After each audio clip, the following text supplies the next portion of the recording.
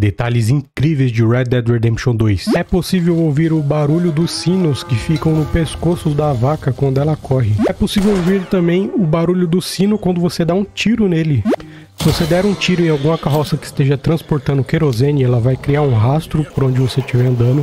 Se você der mais um tiro, ela vai explodir e o rastro vai pegar fogo.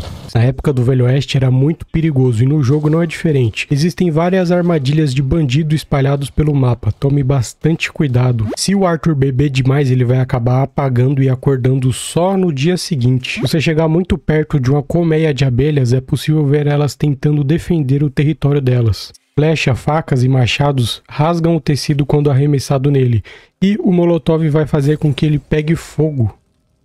Os policiais não irão atrás de você se você entrar dentro de alguma caverna. Provavelmente eles fazem isso com medo de ser algum tipo de armadilha. Se você jogar uma dinamite para cima e conseguir acertar ela no ar, ela vai explodir. Em alguns locais do mapa é possível ver NPCs cortando árvores de forma bem realista.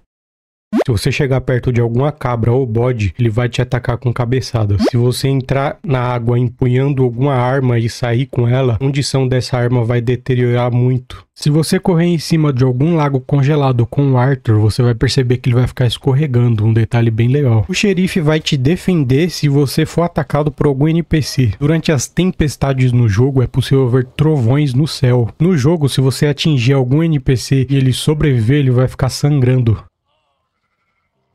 Se você acendeu a dinamite na sua mão e não jogar ela, o Arthur vai acabar apagando ela quando o pavio estiver acabando. Após alguma briga, é possível observar machucados na mão do Arthur. Os sons que o Arthur emite quando está caminhando pode variar de acordo com o calçado que ele está usando. Aí tá uma diferença dele usando uma bota e dele descalço. Esse é algum dos eventos aleatórios que podem ocorrer pelo mapa em Red Dead Redemption 2. Isso daí é um criminoso que está prestes a pagar pelos seus crimes com a própria vida. Aqui tem outro evento aleatório que é essa mulher aí que fica encurralada por essa matilha de lobos. Infelizmente ela não consegue fugir sozinha, a não ser que você ajude matando os lobos para ela. A fauna do jogo é bem realista. Aqui a gente pode observar um passarinho nas costas de outro animal. E não é só a fauna que é muito realista, os NPCs também são. Aqui a gente pode observar esse NPC aí, depois que ele come a refeição, ele solta um peido. E aqui é mais um exemplo da fauna ser bem realista, que a gente pode observar um urso caçando um peixe. O Jack, por ele ser uma criança, ele ainda não possui todos os dentes da boca, alguns ainda irão nascer. A miniatura do globo terrestre tem física aplicada e se mexe quando você atira nele. Se você chegar em alguma cidade e tiver com a recompensa muito grande na sua cabeça, o pessoal vai ficar aterrorizado, vai fechar todos os comércios, casas, hotéis, bares, com medo de você. O Javier, por ser um cara muito simples e não ligar muito para aparências, para perceber que a meia dele é furada. No jogo é possível observar folhas e pinhas caindo das árvores. Se você for rude com algum NPC do jogo, ele pode acabar perdendo a paciência e te dando um tapa. Olha aí o exemplo dessa mulher dando um tapaço no Arthur. A sua gangue pode acabar se metendo em algumas confusões. Normalmente vai vir algum integrante pedir a sua ajuda. Nessa missão aqui a gente tem que ajudar o Bill, que ele foi capturado. A gente vai lá e resgata ele. Os projetores do jogo são bem realistas. Aqui a gente pode ver o projetor projetando a imagem no corpo do Arthur. Esse daqui é um detalhe que poucas pessoas pegaram. Um vendedor de strawberry tem uma prótese na perna. Se você ficar na frente dos NPCs dentro de algum teatro, eles vão ficar inclinando a cabeça para o lado para tentar assistir a peça. Em alguns momentos do jogo é possível ver raposas procurando comida na neve. Assim como os animais abatidos, os humanos que são abatidos também sofrem decomposição com o passar do tempo. Tá aí alguns exemplos.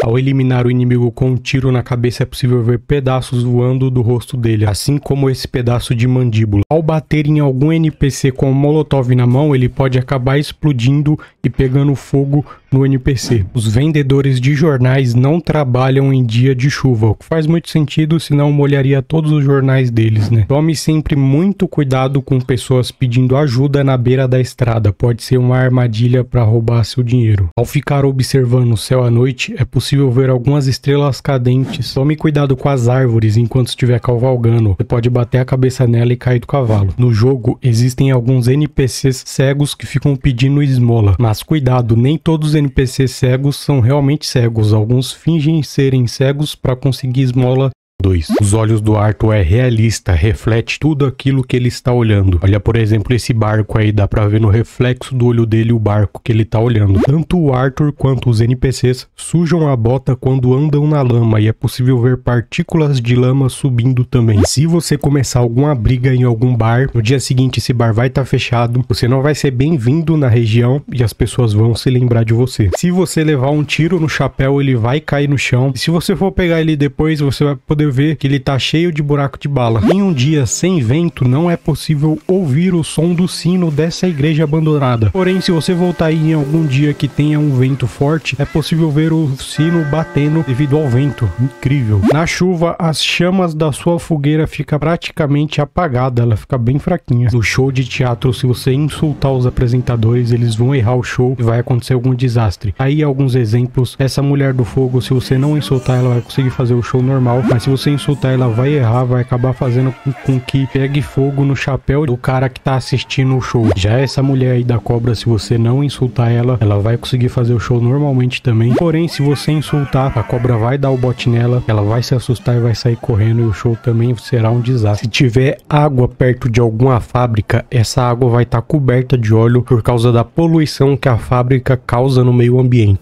É possível que alguns NPCs queiram apostar corrida com você. Caso eles percam, eles vão ficar um pouco decepcionados com o cavalo dele. O Arthur pode engordar ou emagrecer dependendo da quantidade que ele come ou deixa de comer. Em Saint-Denis você pode ouvir uma música dos artistas de rua. Se você arremessar um machado e atirar nele, dependendo da de onde você acertar, é possível ver partículas diferentes, tanto na parte da madeira quanto na parte do metal. As carroças no jogo são extremamente realistas. Se você ficar atirando na roda da carroça, algum momento ela vai quebrar e a carroça vai parar completamente. Ao escorregar em algum barranco, é possível ver pedrinhas rolando. As árvores de Saint-Denis são pintadas de branco na parte de baixo para proteger contra o calor e contra insetos. Alguns animais podem se fingir de mortos se eles se sentirem ameaçados. Cavalos maiores pulam mais alto do que os cavalos menores. E alguns exemplos. Crocodilos comerão os corpos e levarão para debaixo d'água. Se você estiver sujo dentro do seu acampamento, o pessoal lá vai ficar incomodado e vai pedir para você tomar um banho. Aí alguns exemplos, ó, é bem engraçado aí o Arthur se limpando. É possível ver rachaduras no gelo se você atirar uma flecha nele.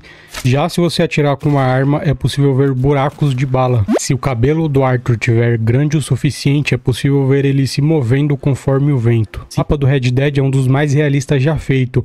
A prova disso é que o mapa muda conforme o passar do tempo, tá aí algum dos exemplos. É possível ver casas sendo construídas do zero. É possível ver também pessoas trabalhando para construir uma ferrovia, tá aí o antes e o depois da ferrovia. É possível ver também o desmatamento que foi necessário fazer para construir essa ferrovia aí.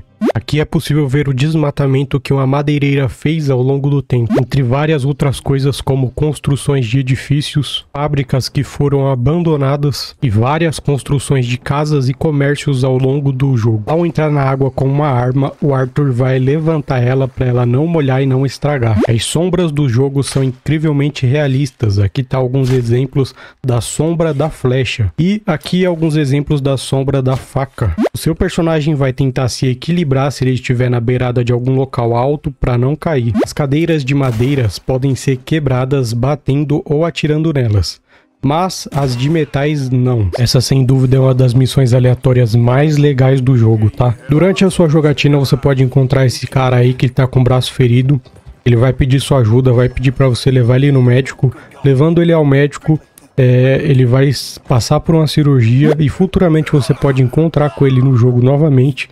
Ele vai estar tá com o braço amputado. Bem da hora, Rockstar pensa em todos os detalhes, velho.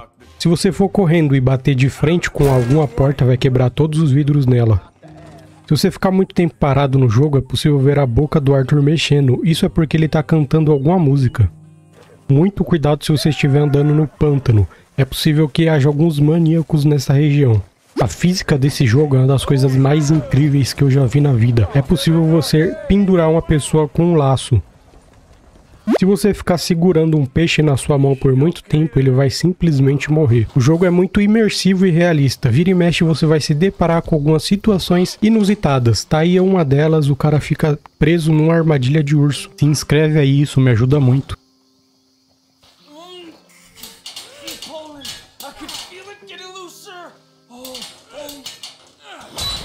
Você der carinho e atenção para algum cachorro, a próxima vez que você vê ele, ele vai se lembrar de você. No jogo temos facas e flechas envenenadas. Se a gente entrar no modo foto, é possível ver no detalhe o veneno, tanto na faca quanto na flecha. Esse detalhe é bem legal. Se você der algum tiro em algum NPC vendedor, a próxima vez que você entrar na loja dele, ele vai estar com um curativo na cabeça. É bem engraçado. Se inscreve aí, isso me ajuda muito.